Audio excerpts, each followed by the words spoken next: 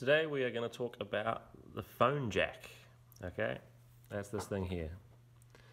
Okay, it's uh, usually actually known by lots of other names. Um, so this one I've got in my hand right here, this is uh, an instrument cable. Okay, and this on the end is the phone jack itself. Okay, so we call this an instrument cable, or we'd call this um, a TS cable, and I'll tell you a little bit about that in a second.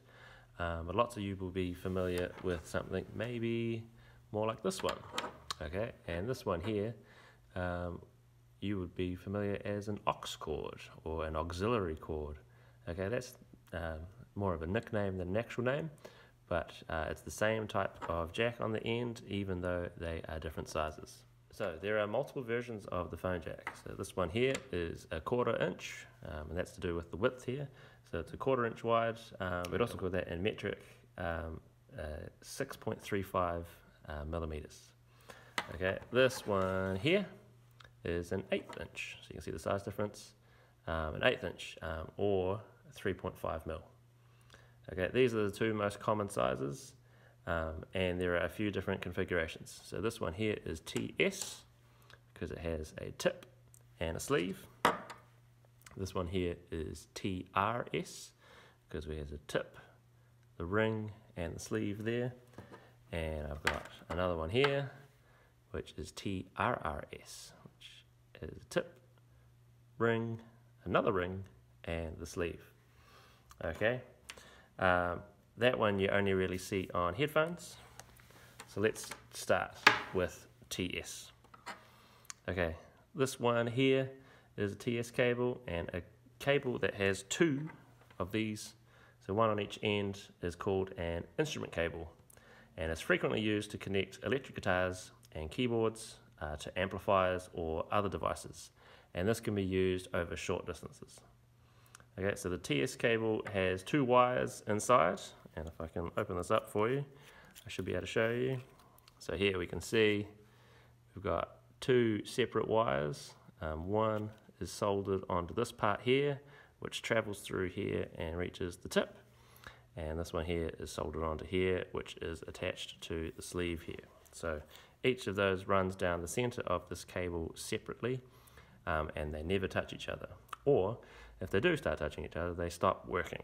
Okay, so that's why we have to be really careful with our cables. We don't run them over with chairs. Uh, we try not to step on them because when those two cables on the inside start touching each other, this stops being any use as a cable. Okay, so the tip carries the audio and the sleeve carries the ground, which is what helps the uh, circuit work. If one of those breaks, if the if the tip um, cable breaks, then you don't get any audio signal, and if the ground breaks, you get uh, lots of noise. Okay, so it's uh, really important that both of those work.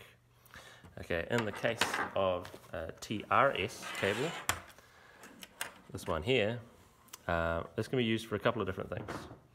Okay, so they have an extra point of connection on the jack, which can be used to carry either a negative signal for balanced audio, which is like what our XLR cables do, or another positive signal for stereo audio, which is like in headphones, we have uh, left and right sounds. So in headphones, this would be your left, this would be your right, and this would be your ground, and that would work again over short distances. So when you have headphones that have a TRS, that is how that works.